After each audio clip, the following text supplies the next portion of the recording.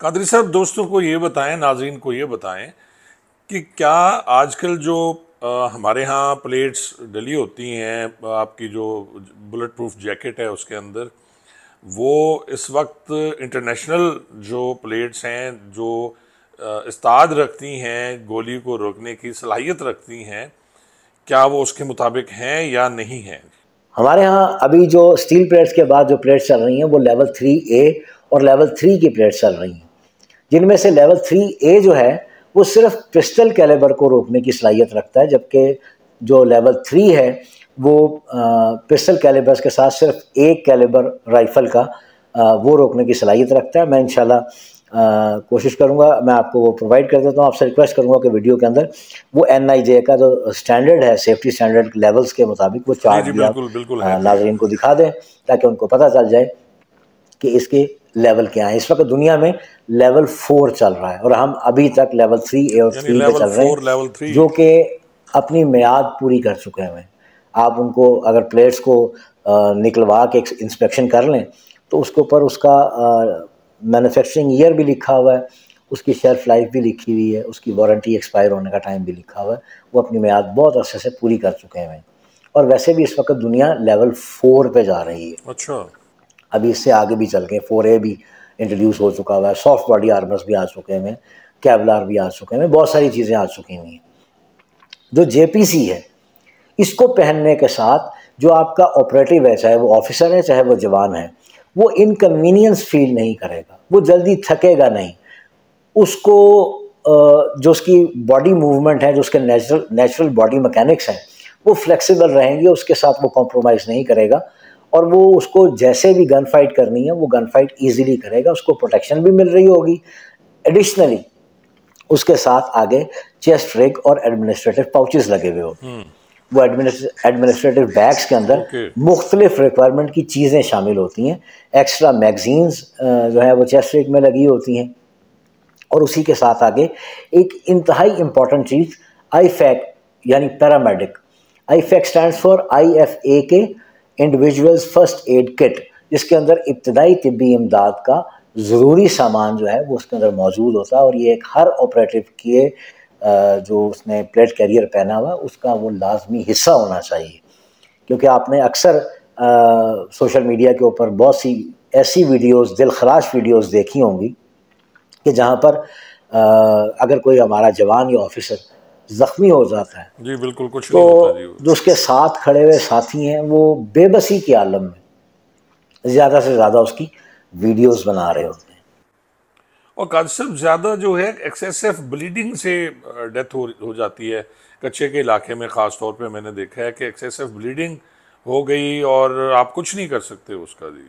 उनको मालूम नहीं होता कि हमने ऐसी सिचुएशन में आ, इसको फौरी तौर पे क्या तिब्बी इमदाद देनी है ताकि इसकी जान बचाई जा सके?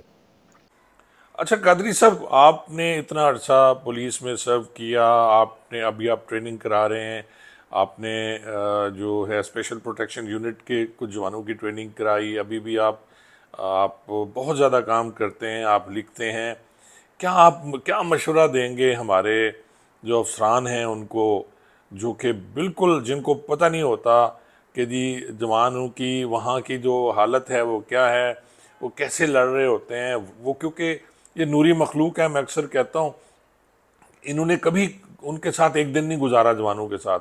ना कच्चे में कहीं तो आप क्या मशवरा देंगे कि क्या होना चाहिए जिससे हम अपने जवानों की ज़िंदगियाँ बचा सकेंगे मैं इस वीडियो की विसात से जो है, वो दरख्वास्त करूँगा जो हमारे ट्रेनिंग सेंटर्स के अंदर ट्रेनिंग मैनुअल बनाते हैं। कि खुदारा उस ट्रेनिंग मैनुअल के अंदर टीसीसी की जो ट्रेनिंग है, जो कोर्स है, उसको ट्रेनिंग का हिस्सा बनाया जाए और मस्ट करार दिया जाए। TCC stands for trauma and combat casualty care course तो खुदारा, वो भी उसमें शामिल किया जाए। एनी हाउ उस प्लेट कैरियर के साथ वो आई फैक भी साथ लगी हुई होती है और वो इजीली वेपन मैन्यूवरिंग भी हो सकती है, आपको उठना, बैठना, जंप करना, भागना, लेटना, वो आपको किसी सूरत भी तंग नहीं करेगी, बल्कि वो इजी रहेगी। अभी जो प्लेट्स आ रही हैं, वो बहुत लाइट वेट होती हैं और पोलीएथिलीन की होती हैं। वो बहुत ज़्यादा इजीली और लाइट वेट होती हैं और आपको फुल प्रोटेक्शन देती हैं। इस लेवल के आगे जो लेवल चार्ट है एनआईजे का, इसके अंदर लिखा हुआ है कि किस लेवल की जो प्लेट है, वो कितने फासले से कितने राउंड बर्दाश्त करने की सलाहियत रखती है। याद रखिएगा। इसका पहनने का मकसद ये होता है कि आप ज़रूरी नहीं है कि आपको आठ, दस राउंड लगेंगे एक ही जगह पे और आप बैठे रहें, वहाँ पर अपने फायर करवाते रहें। ये होता है कि खुदा न खास्ता एक, दो राउंड लग गए तो फौरी तौर पर अपनी जगह तब्दील कर लें ताकि आपको वहाँ पर दुश्मन का फायर ना लगे, अपने आप को अपना सिग्नेचर ना दें, अपना सिग्नेचर मत छोड़ें जहाँ पर आपको फायर लगे। क्योंकि इनकी जो कैपेसिटी होती है कि वो पंद्रह गज से या दस गज से पाँच राउंड की छः राउंड की, तीन राउंड की, चार राउंड की कैपेसिटी वो हर लेवल के आगे उसकी और कैलिबर के मुताबिक लिखा हुआ है कि इतने फासले पर कंसिस्टेंटली एक ही जगह पर इतने राउंड लगें तो उसके बाद वो उसकी कैपेसिटी ख़त्म हो जाती है और फिर वहाँ से राउंड पेनिट्रेट कर जाता है या एटलीस्ट वो इतनी ज़्यादा डिफॉर्मेशन कर देता है कि अंदर से आपको एक्सटर्नल टिश्यूज़ जो हैं, वो डैमेज हो जाते हैं। बाज़ात ये है कि वो रिब्स जो है, वो डैमेज हो जाती हैं। लेकिन जान फिर भी बच जाती है। वो पेनिट्रेट अगर उससे पहले उस कैपेसिटी से पहले पहले आप जगह छोड़ दें तो वो आपको पेनिट्रेशन पेनिट्रेशन नहीं होने देगा आपकी जान बचा लेगा।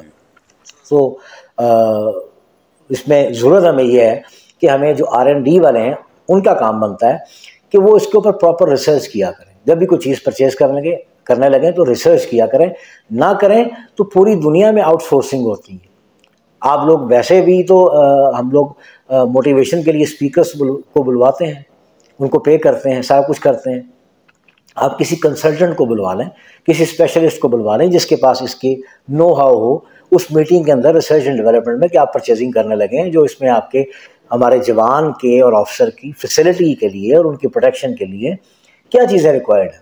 इंटरनेशनल स्टैंडर्ड्स क्या चल रहे हैं? ये हमें पता होना चाहिए आर एन डी वालों को पता होना चाहिए, ताकि जिस वक्त वो अप्रूवल के लिए बना के भेजे डिमांड नोट तो अप्रूवल वाले के ऊपर भी जो है वो ये कल को ना आए। देखें, दुनिया है। यहाँ पर अगर आप किसी को दुनियावी मकसद के लिए, दुनियावी लालच के लिए, चंद रुपयों की लालच के लिए अगर आप गलत चीज़ का टेंडर अप्रूव करवा लेते हैं, आप गलत चीज़ों की अप्रूवल ले लेते हैं, चार पैसे कमा के ये चार दिन की दुनिया, चार दिन की ज़िंदगी आप जी लेंगे तो आखिर में आपको जवाब देना पड़ेगा। और पता नहीं कितनी जानों का कत्ल आपके नाम अमाल में लिखा हुआ होगा। खुदारा, लोगों की जानों के साथ मत खेलें। उनको वो चीज़ें ला के दें जो इंटरनेशनल स्टैंडर्ड्स के मुताबिक हों, उनको प्रोटेक्शन भी दें और उनको फैसिलिटेट भी करें। अपने जवान और ऑफिसर की फ्लेक्सिबिलिटी उसकी फैसिलिटेशन का, उसकी सहूलत का भी ख्याल रखें। कादरी साहब, मैंने आपसे शुरू में भी एक क्वेश्चन किया था और दोबारा कर रहा हूँ कि ये भी मुबैना तौर पर एक खबर है कि जी हमारे जो अफसान हैं, ये जो असला या बाकी चीज़ें ख़रीद करते हैं, वो एक्सपायर होती हैं। यानी दुनिया उनको रिजेक्ट कर देती है और हम वो ले रहे होते हैं और चंद टकों की खातिर हम बिक जाते हैं। तो क्या ये बात सही है? दूसरा, आपने खान साहब सवाल पूछा कि वेपन्स के मतलब तो अनफॉर्चुनेटली हमारे यहाँ होता ये है कि जिस वक्त वेपन परचेज़ किए जाते हैं तो जो दुनिया में सरप्लस हो चुका होता है ना हम वो कूड़ कबाड़ जो है वो उठा के तो जदीद हथियार बना के हम लोग दिखा देते जी हमने जदीद हथियार ख़रीदे हैं। अब Beretta 92 two F S issue किया गया परचेज़ किया गया डेफिनेटली महकमे के बजट से वो परचेज़ किया गया जो फंड्स महकमे को मिलते हैं और वो उन फंड्स का जो है ना वो ज़िया है। उन फंड्स का ज़िया किया किया गया है। वो इसलिए किया गया है क्योंकि जो ब्रेटा 92 एफ़ एस है वो सरप्लस हो चुके हैं। वो अपनी म्याद पूरी कर चुके हुए हैं। उनके अभी पार्ट्स चेंज होने वाले हैं। आप ये आलम हो चुका हुआ है कि वो स्लाइड रैक करें फिंगर आपकी ट्रिगर फिंगर जो है वो अभी ट्रिगर से बाहर होती है स्लाइड पे होती है। आप सिर्फ़ स्लाइड रैक करते हैं और वो ऑटोमेटिकली फायर कर देता है। इसके पीछे रीज़न क्या है? इसके पीछे रीज़न ये है कि जो सफ़ाई करने वाले बैठे हुए उनका वो एक जो कैलेबर है माइंड सेट है, वो ये है कि सिर्फ़ तेल की भीगी हुई टाकी बैरल के अंदर ज़ोर से मारनी है और बाहर तेल से नुचड़ी हुई टाकी उसको लगा के उसको चमका देना है, ताकि वो चमकता हुआ दूर से नज़र आए। जबकि ये ख़तरनाक बात है, गलत बात है। कादरी साहब आपने बिल्कुल सही फरमाया आपका बहुत बहुत शुक्रिया आपने अपना कीमती वक्त दिया। तो नाजरीन आपने काशिफ कादरी साहब रिटायर्ड डीएसपी की बातें सुनी जो कि वेपन को समझते हैं। काश ऐसा होता कि हमारे ये सीनियर्स जो हैं अपने इस टाइप के जो अफसरान हैं हमारे जो एसेट एसेट्स रहे हैं हमारे जो सरमाया है हमारे डिपार्टमेंट का और हमारे मुल्क का उन, उनकी खिदमत लें। लेकिन ऐसा कुछ नहीं है, हमारे जवान शहीद हो रहे हैं। आपको याद है कि पिछले दिनों कच्चे में जवान शहीद हुए, कुछ नहीं पहना हुआ था। किसी के पास बुलेट प्रूफ जैकेट नहीं थी। वेपन की हालत ये होती है कि एक मैगज़ीन देते हैं, असला सफ़ाई बिल्कुल नहीं होती। और अक्सर मैंने ये देखा है कि जब ये लोग निकलते हैं, बाहर जवान जा रहे होते हैं तो कभी इन्होंने जो बुलेट प्रूफ जैकेट नहीं पहननी जिस हालत में भी है, और गन जब लेंगे तो कोशिश करेंगे कि हल्की गन लें। और मैगज़ीन्स ना लें और उसमें वही अट्ठाईस, छब्बीस, पच्चीस राउंड होते हैं, उसके बाद जब ये राउंड ख़त्म हो जाते हैं तो फिर इनके हाथ खड़े होते हैं। फिर ये भाग रहे होते हैं अपनी जान बचाने के लिए और दुश्मन उनके ऊपर आके फिर उनको फायर करते हैं। अल्लाह ना करे कि ऐसे हालात हो। मैंने तो ये बहुत दफ़ा ऐसे हालात देखे हैं अपनी लाइफ में, जब कच्चे में मुकाबला करते हुए। मुझे वो बात याद आती थी नूर मोहम्मद ख़ान लुंड की, जो कि एम एन ए रहे हैं और वो कहते थे कि, बेटा एक गोली हम अपने लिए बचा के रखते हैं कि दुश्मन हमें दर्दनाक मौत ना दे और अल्लाह ना करे किसी को इस टाइप की दर्दनाक मौत मिले जैसे हमारे जवानों को अभी कच्चे में मिली है। बार बार इस टाइप के प्रोग्राम करने का मकसद सिर्फ़ ये है कि हमारे जो अफसान बाला हैं या जो रिसर्च के जो लोग हैं या हमारे जो ये ख़रीदारियाँ करते हैं लॉजिस्टिक वाले, वो अपनी कब्र को बचाएँ। मत करें ऐसा, उनके भी बच्चे हैं।